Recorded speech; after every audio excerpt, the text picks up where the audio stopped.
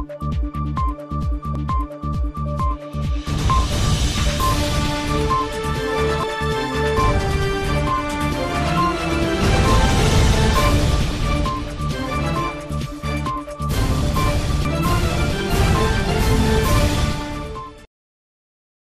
Shalini plus बातमीपत्रात मी सुनील आपलं स्वागत करतो. बातमीपत्राच्या सुरुवातीला पाहूयात हेडलाईन्स जपानला चक्रीवादळाचा तडाखा दहा जणांचा मृत्यू. भाजपचे आमदार राम कदम यांना निलंबित केल्याशिवाय सभागृह चालू देणार नाही राधाकृष्ण विखे पाटील यांचे वक्तव्य. कराडमध्ये बिबट्याचा हल्ला दोन कोकरांसह पाच शेळ्या केल्या फस्त चंद्रपूरमध्ये पिण्याच्या पाण्यात रसायनयुक्त पाणी सोडणाऱ्या कंपन्यांवर कारवाई शालिनी प्लसचा इम्पॅक्ट आणि येवल्यात महावितरण कर्मचाऱ्यांचे काम बंद आंदोलन आंदोलनात कर्मचाऱ्यांचा मोठ्या संख्येने सहभाग. आता पाहूयात सविस्तर वृत्त. जपानच्या पश्चिम भागाला चक्रीवादळाचा जबर तडाखा बसला आहे. यामुळे जनजीवन पुरतं विस्कळीत झालं आहे.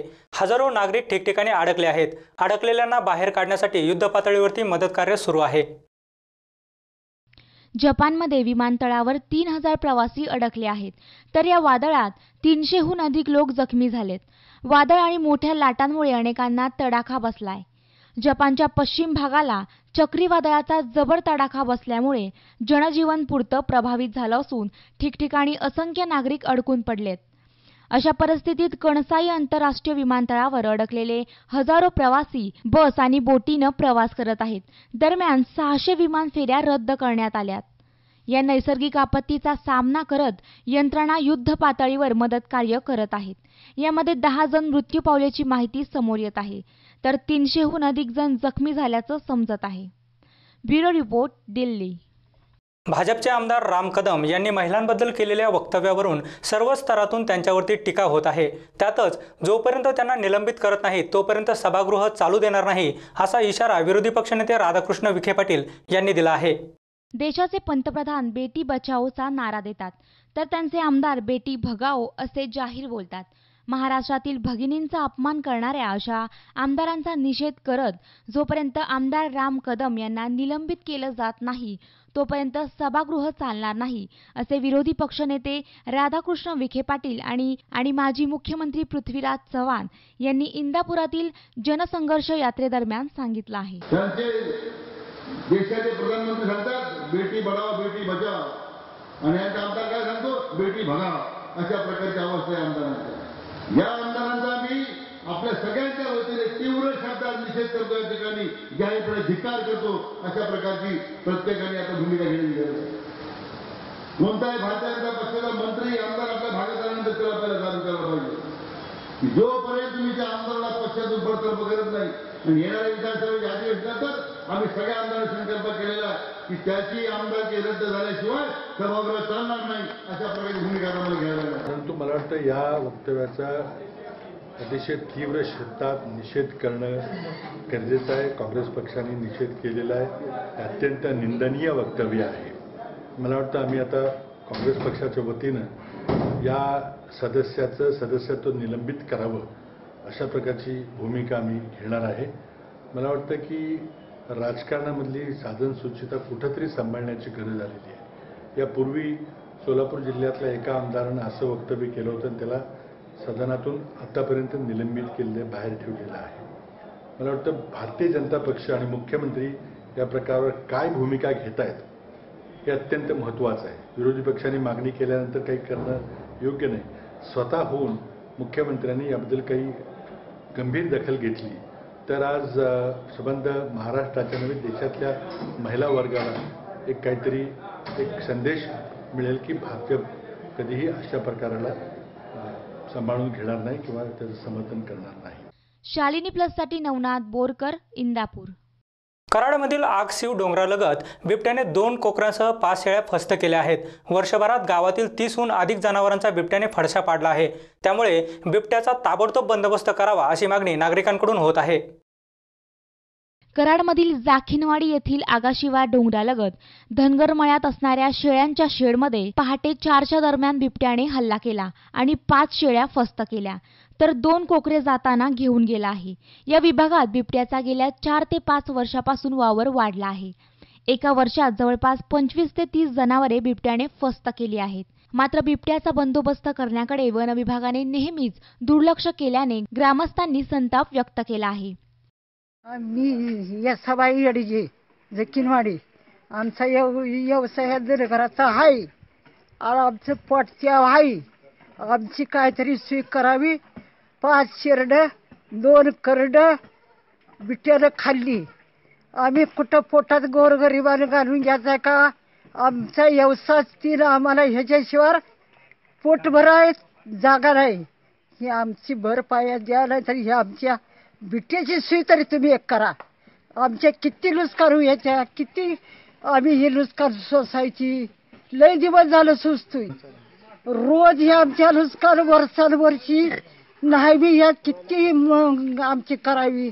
माझं नाव बाळकृष्ण रामचंद्र चव्हाण. अं, मी म- रहिवासी जक्कीनवाडीचा आहे. पण गेल्या दहा वर्षात आमच्या जक्कीनवाडीला बिबट्याचा वावर असल्यामुळं अं, आज रात्री रात्री तीनच्या दरम्यान इथंही मालक नसताना संजय येडगे यांच्या शेळ्या अं, पाच शेळ्या जाग्यावर अं, बिबट्यानं मारल्या आणि दोन शे लहान बच्चे घेऊन गे घेऊन गेली ती. आणि गेल्या दहा ते पंधरा दहा ते बारा वर्ष सुमारे पाच वाजता अ, कराड तालुक्यामधील जखीनवाडी क्षेत्रामध्ये अ, बिबट्याने अ, बिबट्याच्या हल्ल्यामध्ये पाच शेळ्या मारली गेलेल्या आहेत आणि दोन अ, जी करडं आहेत ती अ, बिबट्याने उचलून नेलेली आहेत. याबद्दल शासन निर्णय अठरा अकरा जुलै दोन हजार अठरा अन्वये जी जास्तीत जास्त मदत आहे ती आम्ही संबंधित शेतकऱ्यांना तात्काळ उपलब्ध करून देऊ तात्काळ पंचनामे करून आम्ही त्यांना जी नुकसान भरपाई आहे ती वेळेत देण्याचा प्रयत्न करतो बिबट्या पकडण्यासाठी आपण गेली दोन महिन्यापासून त्या त्या भागामध्ये पिंजरा लावलेला आहे. या नात्या नात्याने पिंजऱ्यामध्ये बिबट्या येत नाही आम्ही थोडीशी त्या भागामध्ये आमच्या अधिकारी आणि कर्मचाऱ्यांच्याद्वारे अ, गस्त वाढवून बिबट्याला कसं जेरबंद करता येईल याचा प्रयत्न करतो. शालिनी प्लससाठी सकलेन मुलानी कराड. चंद्रपूर शहरातील पिण्याच्या पाण्याच्या नैसर्गिक स्रोतात काही कंपन्या रासायनिकयुक्त पाणी सोडत होते. याबद्दलचे वृत्त शालिनी प्लसने प्रसारित करताच प्रशासनाने कारवाई करत मल्टी ऑर्गॅनिक्स कंपनीच्या विरोधात गुन्हा दाखल केलाय. चंद्रपूरच्या दाताळा औद्योगिक वसाहतीमध्ये सुरू असलेल्या मल्टी ऑर्गॅनिक्स आणि रासबिहारी ॲग्रो प्रोडक्ट्स या दोन उद्योगांनी याच परिसरातील नाल्याच्या काठावर टाकाऊ विषारी रसायन फेकले. यामुळे मासे मरण पावले. इतके हे रसायन विषारी झाले. हे रसायन मागील अनेक दिवसांपासून टाकलं जात आहे. पावसाळ्याचे दिवस असल्यानं आता हे रसायन नाल्याच्या पाण्यात मिसळत आहे. हाच नाला पुढे इरई नदीला मिळतो. या नदीचंच पाणी चंद्रपूर शहराला पुरवलं जातं. याबाबत वृत्त प्रसारित होताच प्रदूषण नियंत्रण मंडळ वनविभाग आणि पोलीस विभागाचे अधिकारी घटनास्थळी दाखल झाले. प्रदूषण नियंत्रण विभागाने पाण्याचे नमुने घेतले. सोबतच हे रसायन पाण्यात मिसळणार नाही यासाठी तातडीनं उपाययोजना करण्याचे निर्देश दिले. तर विनापरवानगी हा कचरा विभागाच्या जागेवर टाकल्यानं वन विभागानं मल्टी ऑर्गॅनिक्स कंपनीविरुद्ध वन गुन्हा दाखल करून जेसीबी जप्त केला. आणि प्रशासनाचे अधिकारी इथे येऊन शॅम्पलिंग केले. काही उपाययोजना आणि काही गायडन्स सांगितले. तरीसुद्धा हे मल्टी ऑर्गॅनिक प्रायव्हेट लिमिटेड या गाईडलाईनचे पालन नाही करत आणि फॉरेस्ट डिपार्टमेंटनी ह्या उद्योगधंद्यावरती त्यांच्या लँडवरती कब्जा केला म्हणून त्यांच्यावरती पण कारवाई केलेली आहे. तरीसुद्धा ह्या उद्योगधंदे हे केमिकल प्र प्र प्रदूषण करण्याकरिता रोख नाही लावून राहिलेले आहे.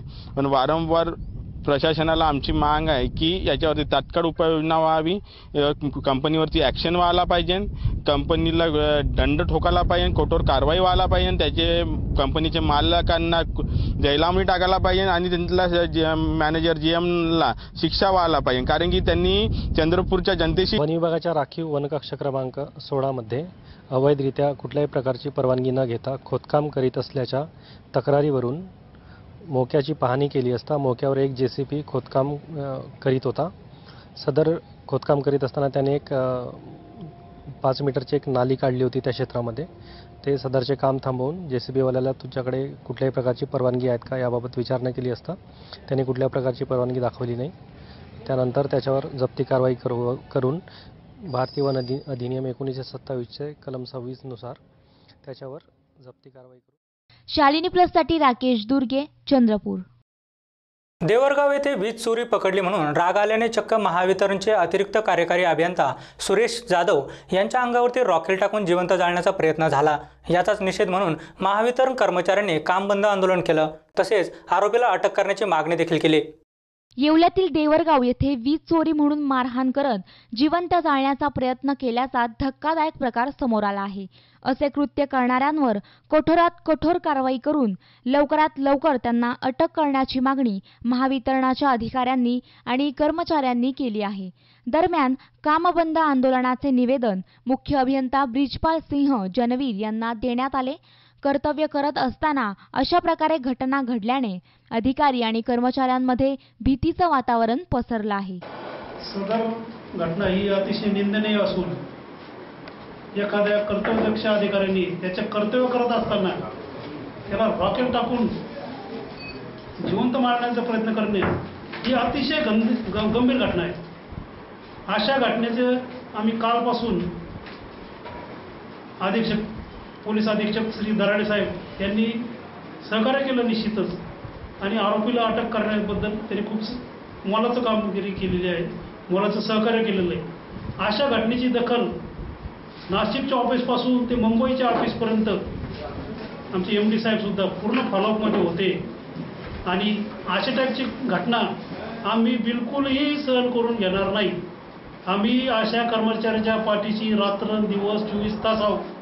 याची नोंद या प्रत्येक जे समाजकंटक आहेत त्यांनी नोंद घ्यावी.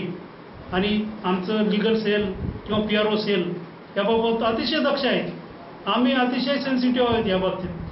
की याच्यात जर आम्हाला कोणी अडथळा केला तर आम्ही कोणालाही सोडणार नाही हे निश्चित. ॲडिशनल एक्झिक्युटिव्ह यांच्यावर रॉकेल टाकून जिवे जिवे मारण्याचा प्रकार केलेला आहे.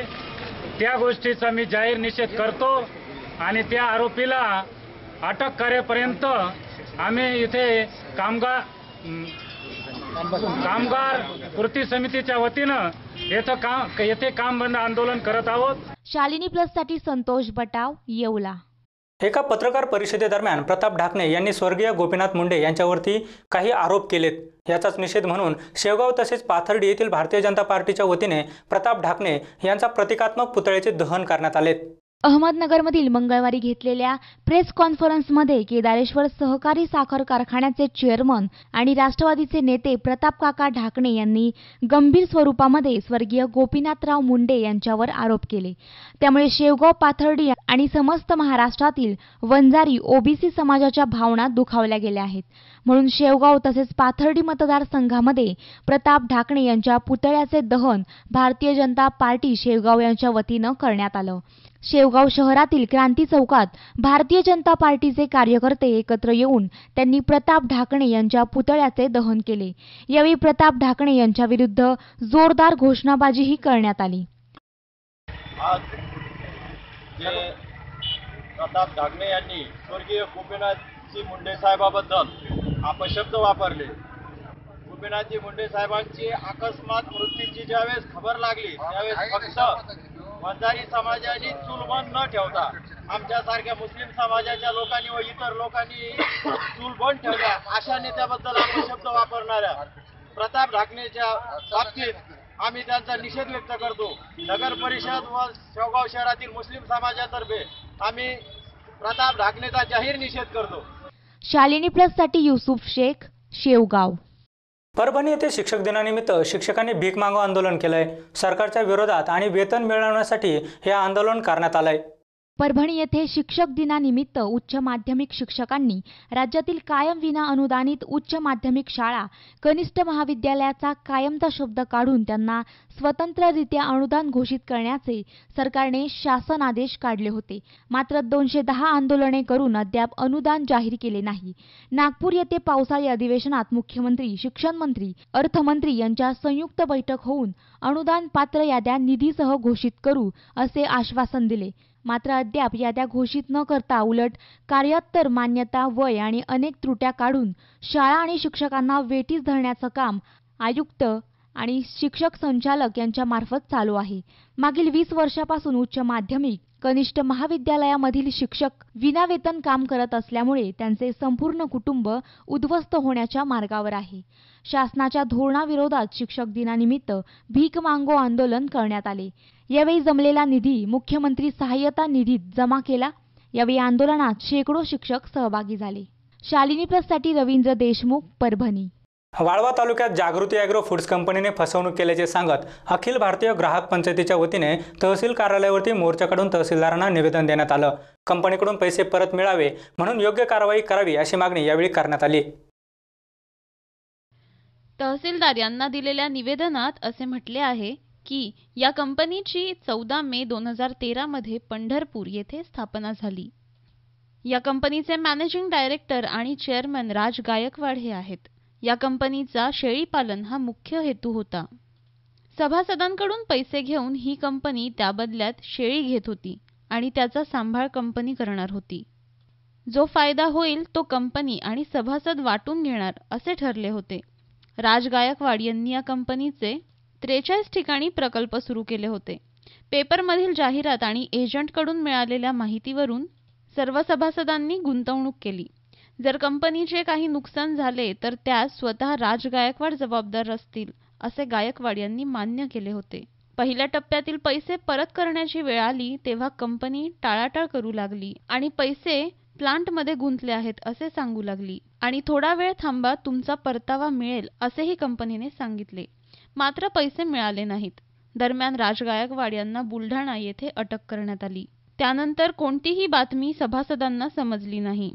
त्यामुळे आमच्या कष्टाचे पैसे कंपनीकडून परत मिळावे यासाठी योग्य कारवाई करावी अशी मागणी सभासदांनी निवेदनाद्वारे केली. एक चार वर्षापूर्वी आमच्या इथं इस्लामपुरात येऊन त्याच्या फ्लॅटबद्दल माहिती दिली होती आम्हाला सर्व कंपनी वगैरे त्याची आणि त्यांच्याबरोबर तिचे साथीदार म्हणजे अजय काळे सुनील चव्हाण आणि त्यांचे अकाउंटंट कंपनीतले कल्पना सूर्यवंशी अशी सगळे मिळून त्यांनी आम्हाला सगळ्या त्यांच्या फ्लॅटची वगैरे सगळी कल्पना दिली होती की पाच हजार तुम्ही आता भरले तर सहा वर्षांनी पन्नास हजार रुपये देऊ. असं हे केल्यामुळे सगळं महिलांनी ज्या गरीब आहेत त्या शेतकऱ्यांना राबायला जातात जुनी भांडी करतात अशा सर्व महिलांनी त्यात पैसे गुंतवलेले आहेत त्यांनी स्वतः येऊन आमच्या इथं किसानगरमध्ये टिळकर मॅडमच्या घरी येऊन पैसे घेऊन गेले. आणि नंतर त्यांनी अकरा बारा महिन्यानंतर काहीच त्याच्यानंतर आम्हाला उत्तर वगैरे दिलेलं नाहीये. त्यांची कंपनी पण बंद आहे असं आम्हाला कळालंय. मग याच्या याच्या विरोधात तहसीलदारांनी वगैरे काहीतरी हे करून पडतील. कारवाई त्यांच्यावर करून आम्हाला न्याय मिळवून द्यावा अशी विनंती. जे लोक आहेत ते सर्वसामान्य गरीब आहेत. आणि ते म्हणजे धुणं भांडी वगैरे घरकाम करून त्यांनी माझ्यात पैसे भरले. आणि त्या पैशाच्या मोबदला म्हणून त्यांनी पाच हजार भरा पन्नास हजार सहा वर्षात देतो. असा विषय झाल्यामुळं मी सर्व स्त्रियांना सांगितलं महिलांना. की पाच हजार भरा म्हणजे तुमचे पन्नास हजार सहा वर्षानं मिळतील. त्याप्रमाणे सगळ्या महिलांनी माझ्याकडे पैसे भरले. आणि ज्यावेळी चौदाव्या महिन्याचा एक टर्म असतोय तो टर्म व्हायच्या आधीच त्यांना अकराव्या महिन्यात अटक झाली. त्याच्यामुळे आमच्या महिलांचे पैसे सर्व अडकलेले आहेत. आणि ते मिळवण्यासाठी आम्ही हा मोर्चा घेतलेला आहे. आणि ते पैसे त्यांच्याकडनं मिळालेच पाहिजेत आणि मिळवणारच आहे. कारण ह्या गोरगरिबांचा जो मी त्रास सहन केला आहे त्याचा जो त्रास मी बघते तो मला बघवत नाही. आणि त्याप्रमाणे मी त्यांच्या साथीला आणि ते पण माझ्या मदतीला आहे आणि मी इथं त्यांना सर्व जणांना मी सांगून इथं आल्याबद्दल सगळ्यांचे मी आभार आहे. आणि सगळ्यांच्या वतीने मी क्षमा पण मागते कारण माझे मी आशेला पडल्यामुळे शालिनी प्लससाठी भगवान देवकर इस्लामपूर. शेलू येथे नूतन विद्यालयात शिक्षक दिन मोठ्या उत्साहात साजरा झाला. शिक्षक पालक संघ आणि शाळेच्या सांस्कृतिक विभागाच्या वतीने या कार्यक्रमाचं आयोजन करण्यात आलं होतं. सेलू येथे या कार्यक्रमाप्रसंगी पालक शिक्षक संघाचे उपाध्यक्ष कैलास पोटे सहचिटणीस विठ्ठल कोकर तसेच प्रशालेचे मुख्याध्यापक के व्ही वाघमारे आदी उपस्थित होते. शिक्षक दिनानिमित्त ज्येष्ठ शिक्षक के पी राठोड आणि के जी बागले यांचा सत्कार करण्यात आला. के व्ही वाघमारे यांनी अध्यक्षीय समारोप केला. या कार्यक्रमासाठी सर्व शिक्षक कर्मचारी पत्रकार आणि विद्यार्थी मोठ्या संख्येने उपस्थित होते. शालिनी प्लससाठी प्रताप काकडे सेलू. गल्लीत गोंधळ आणि दिल्लीत मुजरा हा चित्रपट आपण बघितला असेल ज्यात मकरंद अनसपुरे अनामत रक्कम भरण्यासाठी चिल्लर आणतो आणि बाकीच्या उमेदवारांचा वेळ खातो. असाच काहीसा प्रकार चंद्रपुरात घडलाय. गृहकर भरण्यासाठी चक्क एका व्यक्तीने चिल्लर आणली आणि अधिकाऱ्यांच्या पाचावरती धारण बसले. चंद्रपूर महापालिकेने गृहकराच्या नोटीस सध्या पाठवल्या आहेत. त्याचा वेळेत भरणा न केल्यास व्याज लावले जाते. त्यामुळे सर्वसामान्य नागरिक वेळेत भरण्यासाठी आटापिटा करीत असतो. आता यांना बघा हे आहेत दादमहल वार्डातील रहिवासी रंजन नंदाने. त्यांचं छोटंसं घर आणि फेरीचा व्यवसाय. त्यांनी पिशवी भरून खुर्दा आणलाय. त्यात दहा पाच दोन आणि एक रुपयांची नाणी आहेत. चौदा हजार आठशे आठ रुपयांचा कर त्यांना भरायचा होता. पण हे पैसे घेणार की नाही हा संभ्रम नंदा यांना होता. हे लहान पोराचे आम्ही पाच रुपये दहा रुपये देत होतो ते दोन तीन वर्षापासून जमा करत होते. आणि जमा केलेलं आम्ही हे वेळी टॅक्सच्या स्वरूपात भरून आलो. नाहीतर आम्हाला टॅक्स व्याज व्याज दोन हजार का घ्यायला येणं लावलेलं आहे. आणखी आम्ही नाही भरला तो व्याज पुन्हा आणखी लावणार ते आम्हाला? तर आम्हाला भा- भरणं बाकी सर पैसे नाही घेतले तर सर आम्हाला आम्ही चिल्लर घेऊन जाऊ घरी आता. नंदाने यांचा हा प्रकार पाहून कर विभागाचे कर्मचारीही चकित झाले. पण या नाण्यांना कायदेशीर मूल्य असल्यानं ते नाही म्हणू शकले नाही. पण त्यांना निर्णय घेणं कठीण असल्यानं वरिष्ठांना विचारून त्यांनी शेवटी ते स्वीकारले. दादमल वार्डामध्ये राहत असलेले रंजन नंदाने यांना चौदा हजार आठशेच्या जवळजवळ चौदा हजार आठ रुपयेच्या जवळजवळ बिल आलेलं आहे. एक कामगार वर्ग काम करणारा माणूस नड्या वगैरे विकून आपलं जीवन उपजीविका करणारा व्यक्ती याच्या जेव जीवनामध्ये चौदा हजारपर्यंत जर अ, घरटॅक्स बिल येत असेल त्या व्यक्तीने काय करावं? मग त्यांनी आपल्या लहान बालकांचे गुल्लडमध्ये टाकलेले असलेले पैसे त्यांच्या आईवडिलांनी जमा केलेले पैसे त्यांच्या पत्नीने जमा केलेले पैसे जे डब्यामध्ये टाकलेले पैसे होते ते सर्व जमा केले आणि महानगरपालिकेचं चौदा हजार आठशे आठ रुपये हे बिल भरण्यासाठी आलेले. आता महानगरपालिकेने ठरवायचं आहे की ते पैसे घ्यायचे नाही किंवा नाही घ्यायचे आहे. पैशाचा जर स्वीकार नाही केला तर भारतीय करन्सी काय कायद्याच्या ऍक्टनुसार तो राष्ट्रद्रोहाचा गुन्हा ठरतो. आणि त्याला नाही म्हणता येत नाही. चिल्लर असोत या नोटा असोत त्यांनी ते स्वीकारायला पाहिजे. शालिनी प्लससाठी राकेश दुर्गे चंद्रपूर. बातमीपत्रात वेळ झाली छोट्याशा विश्रांतीची. तुम्ही कुठेही जाऊ नका. पाहत राहा शालिनी प्लस ढोल ताशांचा गजर गुलालाची उधळण अनोखे देखावे बाप्पाची आरास भक्तीचा जल्लोष. आता उत्सुकता आहे बाप्पाच्या आगमनाची. आम्ही सज्ज झालो आहोत बाप्पाच्या स्वागतासाठी. आणि तुम्ही?